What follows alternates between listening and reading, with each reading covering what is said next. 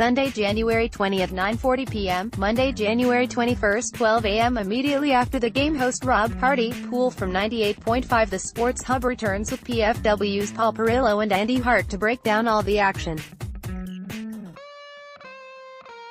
You'll hear live press conferences, exclusive player interviews and more. Sunday, January 20th, 9.50 p.m. to 11.35 p.m. Watch live post-game press conferences from Bill Belichick, Tom Brady and select players immediately following their AFC Championship game against the Kansas City Chiefs. Monday, January 21st, 12 a.m. to 9 a.m. Listen to a replay of the Patriots post-game show.